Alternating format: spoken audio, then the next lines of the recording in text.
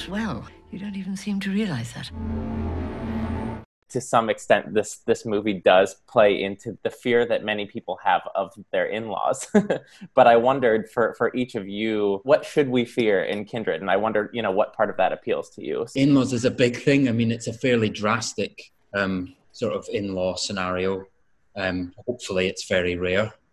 Uh, but um, and we sort of took it to the extreme. I've never had any experiences like this with my in-laws Good. you know um, nothing, nothing this extreme. One certainty in one's own mental health as well, how that determines uh, behavior. I guess kind of tradition and responsibility versus freedom and choice, which manifests itself in the house and that lineage, but also in Charlotte's pregnancy and her right to her own body. I really fundamentally feel the key to the film is Tamara, and she has such a huge inner life which radiates in on the screen that I feel it becomes about lots of things, um, not least panic. And uh, she's mentioned, and, and Jack saying, you know, there are, of course, themes in, in it, but there are themes in everything. It's the performance of things that are off the theme that I think is the thing that a viewer identifies with. I mean, what was so interesting about the premise of the film was that it's about someone who doesn't necessarily want that child and doesn't necessarily want to be with that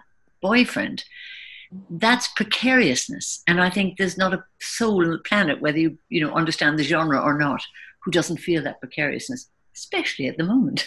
but you did mention the house, and it's such a beautiful location, and it does so much to help establish the, the mood and atmosphere of this film. But I also read that you know, this house actually was where there were production offices and wardrobe and everything. And I wondered, how does that affect your performance? How does that help you inhabit these characters and, and you know, existing in this space? Well, you're never late for a shot.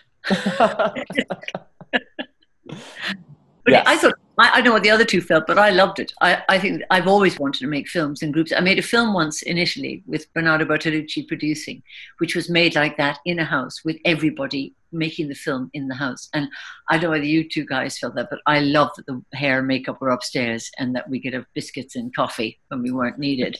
and, and yet the house was, you know, working its magic or its dampness on our skins and its desolation, which it's the most unique house what Joe has done is stolen all the the brilliant gifts the house gave. It's it, it's it's um it may be a set designer's paradise, but I'm sure the set designer just sat back and went, "Wow."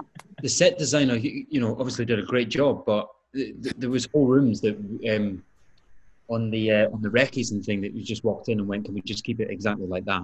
Joe Joe mm-hmm. just loved the look instantly, and a lot of the um, sort of famed cutaway shots in the film of a lot of the taxidermy and things like that, the very bizarre taxidermy scenes between like a, a squirrel battering a vole or something like that. Like that, that that's in the house.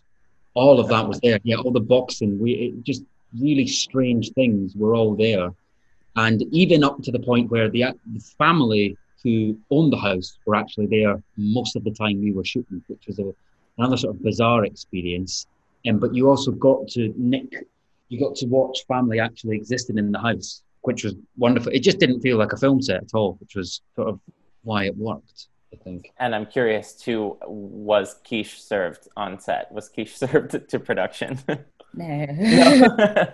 I don't think we ever got any quiche. We, we did, someone's asked me that already about quiche. Uh, it was mentioned about four or five more times than it is actually in the final cut. Right. we, we, they wanted to pull it out a lot more. Um, but I, I begged for at least one quiche moment because I just think it's um, sort of pathetic in its attempt from Thomas um, to sort of make Charlotte feel kind of at home at all.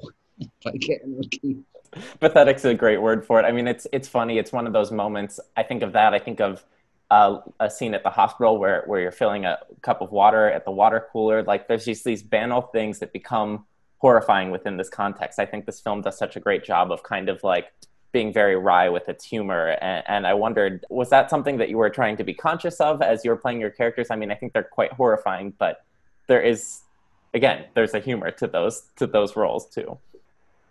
And I, I certainly feel I, I, I mean, I, I know a lot of women like that mm-hmm. who are trapped in an inheritance idea about the house, and indeed, I think the family who we were filming amongst were part of that tradition where the family inheritance of the house is more important than the fact that a whole new class of people have risen up, um, made their livings elsewhere, but the house represents too much to the family line. I mean, it's it's a terrible trap, and that way I was very, you know, sympathetic to, to Margaret. Tamara's character represents the new world. And I think there's a clash, even if it wasn't about trapping her with the baby and keeping her locked up. She's in university, she has no connection with anybody to do with, with that house or with any of their values. And I, I think that's also, I mean, Tamara, maybe you could say something about that. You know, I did think it was funny, but it's also sad.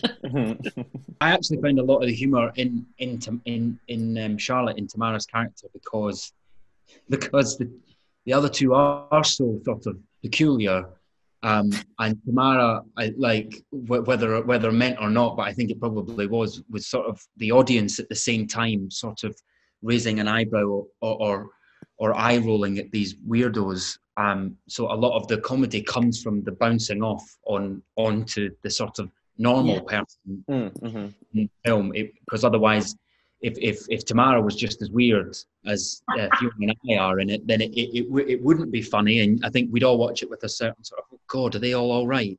Whereas Tamara does that for the audience as well as as go through hell.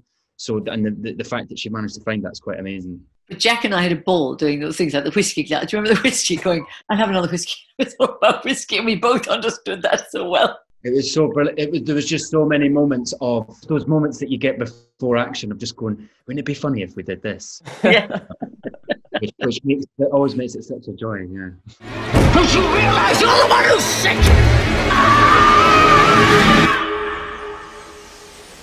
There's been too much death in this family.